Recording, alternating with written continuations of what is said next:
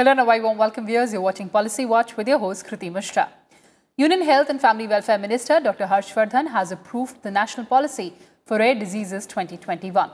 The policy aims to bring down the high cost of treatment for rare diseases and was brought after multiple consultations with different stakeholders and experts in the area. Along with lowering the cost of treatment of rare diseases, the policy aims to increase focus on indigenous research and local production of medicines. Those suffering from rare diseases that require one-time treatment will get the financial support of up to 20 lakh rupees under the umbrella scheme of Rashtriya Arogya Nidhi. And for deeper insights, I'm joined by Professor Sarman Singh, Director, AIIMS Bhopal, and Dr. K. Madan Gopal, Senior Consultant, Health, Niti Aayog. Welcome to Sansad TV, both of you. And Professor Singh, coming to you first.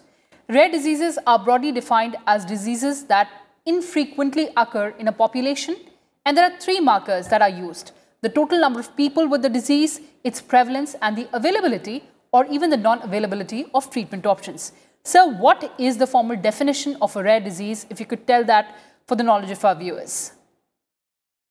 Uh, basically, these, uh, you know, in our courses, we have been reading these diseases and they are discovered time to time, but uh, there are two major organizations. Uh, one is in America, uh, that is National Organization of Rare Disease, NORD, what they call.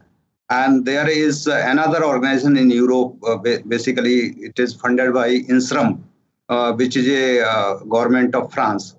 So these two organizations, they have been working on that and they have designed a definition that any disease which is having prevalence of less than 5 per 10,000 of the population in that particular country. So it will vary from country to country. And, uh, you know, uh, uh even uh, uh, with this definition in India, there are more than 7 crore probably. Uh, they are there, people. And depending, even in USA alone, there are more than 25 million people, those who are suffering from rare diseases you very rightly in your preamble said that there are many criteria. One is, of course, the prevalence, which is uh, they have to be less in number. Uh, there are also various, uh, uh, you know, uh, genetic uh, regions which probably we will come a little later. But uh, to begin with, uh, the most of these diseases they are caused by uh, during the uh, genetic changes or their protein folding or enzymatic development or DNA defects. So these are the diseases and they manifest sometimes not in childhood, most of these they manifest in childhood. Sometimes they manifest in very you know advanced age like 40s or 50s so there are definitely these were uh, uh, basically they were not recognized. They were neglected. There were no clinical criteria. There were no signs and symptoms defined as per who uh, international classification of diseases. So who has also classified these diseases. So icd codes what we uh, you know define they have also been uh, uh, you know assigned to various diseases. So in last 20 25 years lot of work has been done on these diseases all right sir so those were the broad highlights and dr gopal coming to you now for quite some time different stakeholders have been demanding for a comprehensive policy for prevention and management of rare diseases various high courts and also the supreme court expressed concern about the lack of a national policy for rare diseases now that the uh, policy is there Take us through the highlights of this important policy. So I will just uh, give you the background. Uh, uh, that means globally around uh, 7,000 rare diseases have been identified and only 5% have the treatment available for them, representing a significant unmet need for the patients. So far, around uh, 450 rare diseases are recorded in India and approximately 80% of these are genetic in origin. Half of the uh, cases are in children which are which one third of them they die before the age of one of one years of age. While India is yet to build uh, its national database of the individuals who are affected by such uh, uh, rare condition, it is estimated that around 72 to 96 million of Indian population is likely to be suffering from rare diseases. This figure is based on global population prevalence of rare disease estimated in the range of 3.5% uh, to 5.9% of this. As per the Ministry of uh, Health and Family Welfare, estimates the treatment cost of these genetic disorders may vary between 1.8 to 1.17 million, 1.8 million to 17 million. That that is the range. These estimates are a proof of a complex and uh, and a continuously evolving field of rare uh, diseases with uh, new rare disease and condition being identified and reported regularly. This has posed a, a, formidable challenge in the form of all stakeholders and especially the government that is grappling with the macroeconomic allocation dilemma of rare diseases because the priorities are different. You have to see that how these to prioritize this thing. The underlying cause of the rare disease can be difficult to identify and the symptoms of disease are quite different from each patient making rare disease exceedingly difficult to diagnose. Rare disease present an unimaginable burden and challenges to the patient who are affected, uh, to the family and the clinicians who care for them. Since most of the rare diseases are genetic origin, we must step back to a bit to strategize the prevention of this. Having said this, to address these challenges, uh, a very comprehensive national uh, policy for rare diseases uh, 2021 have been finalized by the Ministry of Health and Family Welfare after multiple consultations with different uh, stakeholders and experts in India. This, the draft which was prepared after the expert consultation was shared with the was put in the public domain for comments uh, on during the early uh, January uh, early January 2020 on which comments and views were expressed. And after that uh, this was finalized and and all the comments were examined by the expert committee which was constituted. And after this uh, this policy was uh, released shortly the rare uh, disease policy aims at to lower the cost of the treatment for rare diseases yes. with increased focus on indigenous research with the help of national consortium to be set up in the department of health research as and the ministry of health being the convener of this there has been an increased focus of research and development uh, and local production of medicines, uh, with, which will lower the cost of the treatment for rare diseases. The policy also envisages uh, the creation of national hospital-based registry of yes, rare diseases so that, so that adequate uh, data is available for definition of this. And apart from that, one of the highlights of the policy is that it focuses on early screening and prevention through primary and secondary healthcare infrastructures. So all right, so, so these are the salient that, features, uh, and of course, uh, as we proceed, we are going to analyze all these points. But Professor Singh, the field of rare diseases, it's a very complex and a heterogeneous one, and the prevention is extremely difficult. So what are the challenges in treatment and management of rare diseases? You very rightly said, Kritiji. Uh, it is a challenge, and the, as Dr. Madan Gopal also said, that uh, government is trying its best, and basically uh, I, I, think uh, uh, the root cause is diagnosis because most of these diseases, as 50% Dr. Madan Gopal also said, very rarely these are acquired in the later life, but early in the childhood or during the, the, the babies in the womb. Uh, at that time, uh, these diseases, uh, when the child is getting developed or genetic uh, changes during embryogenesis, what we call jisko. So during that period, these diseases, they do take place. And therefore, uh, in some of the Western world, like in Europe and America, there is a huge screening of the mother and father. Unfortunately, that that part needs to be uh, you know uh, uh emphasized in India and because Dr. Madan Gopal works in the Niti Aayog, I, I think uh, he is the best person to advise this and ministry of health they should you know uh, strengthen and that's what uh, he emphasized that uh, niti aayog they have suggested and ministry of health has come up with the uh, financial aid and they are having up to 20 lakhs and up to 40 lakhs in some of the cases which is, which requires a single you know uh, single time treatment. Like some of the uh, genetic disorders if they are diagnosed in vivo in utero sorry. In utero means when the baby is in the uh, uterus means uh, before birth. At that time some of these diseases they can be cured uh, for lifelong. Obviously once they are cured so then there are no uh, you know they will not recur.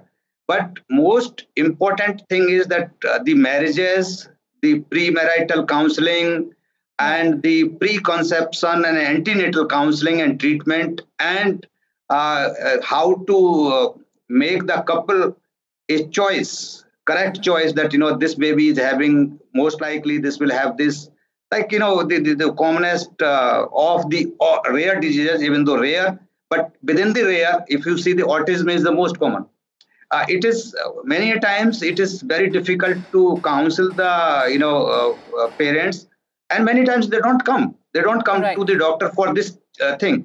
And even if they come the screening services we don't have in many places because there is a huge uh, list of what various tests should be done. It is a very costly affair of course so the poor people they cannot afford if it is in the private sector many of the government sector they don't have screening uh, uh battery of the test.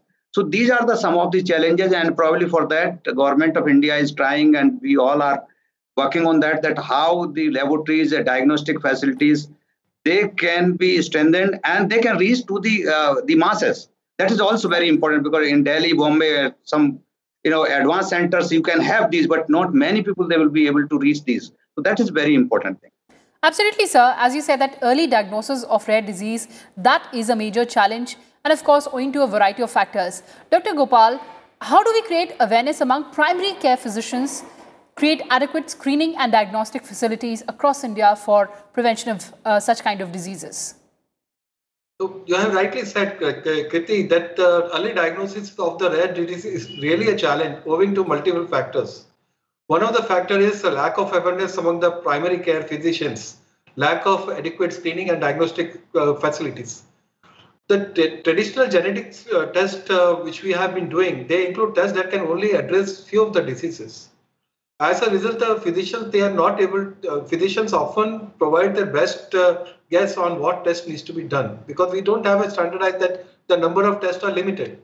If the test is negative, further testing will be required until next generation sequencing based test or chromosomal microarray. That kind of tests are available whatever is available, but they are expensive and time consuming process and interpretation and counseling on these issues, they are really, they will take time. Apart from that, there is lack of awareness about rare disease in the general public as well, True. As well as in the medical fraternity. Though the later part we are trying to address through uh, inclusion of, uh, that means higher risk of, uh, high suspicion of uh, any case if uh, the differential diagnosis other that kind of clinical based approach is already been trying we are trying to address that thing but side by side we have to raise the awareness raise the awareness among the general public about these rare diseases apart from that many doctors lack appropriate training and awareness to be able yes. to correctly and timely diagnose which we are already addressing and apart from that uh, another challenge is, is that there is an immediate need to create awareness among the general patients public as well as their families Sometimes it takes around seven to eight years to diagnose a rare condition. That's the kind of thing, that's the kind of effort which is required. And a lot of time is uh, lost uh, in addressing that kind of thing. If it is able, we are able to diagnose early as well as, as uh, Dr. Singh has pointed out, saying that in the womb, if you are able to diagnose one time TB rate is available, then fortunately you are able to at least improve the quality of life of that person. That kind of approach we have to take. And uh, we are working towards that direction and the policy which has been released it will foster and it will try to uh, give an impetus to uh, the efforts which have been made uh, towards that direction over to please Absolutely, sir. So the key, of course, is creating awareness among the people for uh, rare diseases. But Professor Singh, talking about the financial support. Now, according to the policy, a provision for financial support of up to 20 lakh under the umbrella scheme of Rashtriya Arogya Nidhi is proposed for treatment. Now, two points here, sir who can avail the benefits under the policy? And secondly, sir, concerns are also being voiced if this kind of financial support is adequate. Difficult question, but uh, I, I think uh, this question, Dr. Madan Gopal is the best person to answer. But it is, you know, a tricky answer, a tricky question, and uh, it is. I can say it is not sufficient. Definitely, it is. Uh, you know, uh, the, the, most important thing is that some of the this this this amount, even though it is an initiative taken by government, which is definitely welcome. Yes. Because something is better than nothing. So definitely, at least the family support is important. Some of the poor people they can, uh, you know, uh, help the child. At least the family support will be available because in many uh, uh, situations, the child and the family they require financial support, and uh, that is you know because of need of the money. Uh, the good quality of life which child deserves or can have uh, this is uh, not uh, made available. So if financial support is definitely is given, but again this this needs to reach to the masses that how this will be channelized at what stage it will be given once it is diagnosed at that time or before diagnosis or it will be given to uh, to to the uh, to strengthen our infrastructure. I think that will be most important that you know the government uh, should uh, strengthen our diagnostic facilities and care and awareness as we say iec programs and so that you know people are aware the the the rare diseases usually they are chromosomal or protein based or genetic what we can in common uh, language we can say.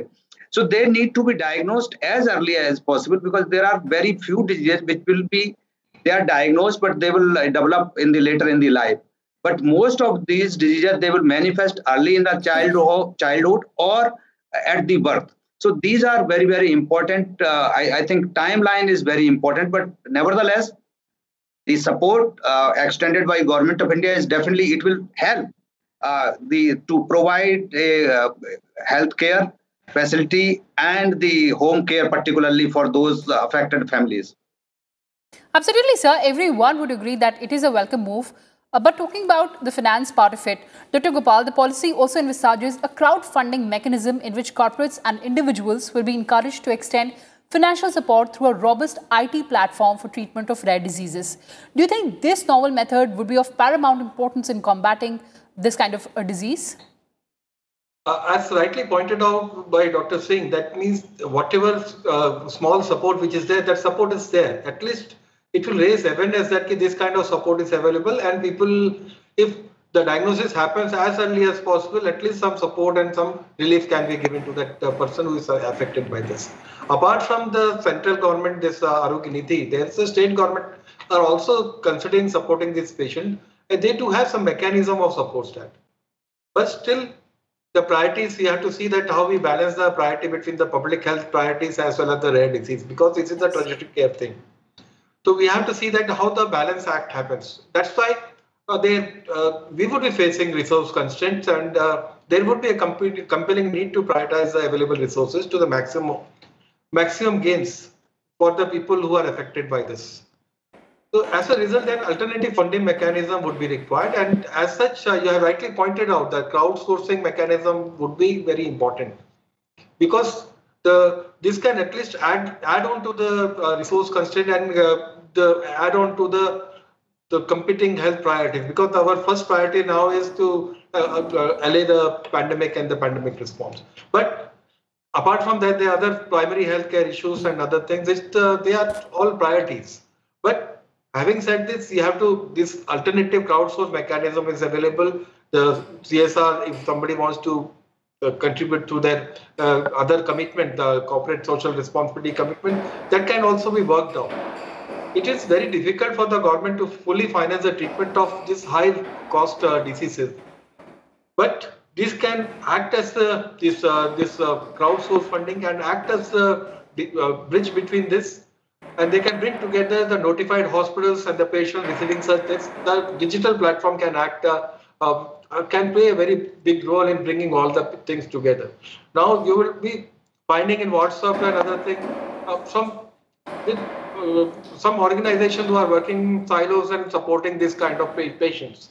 But if a digital platform is available, who can connect the hospitals, connect the patients, connect the funders, so that that is a good platform which is there.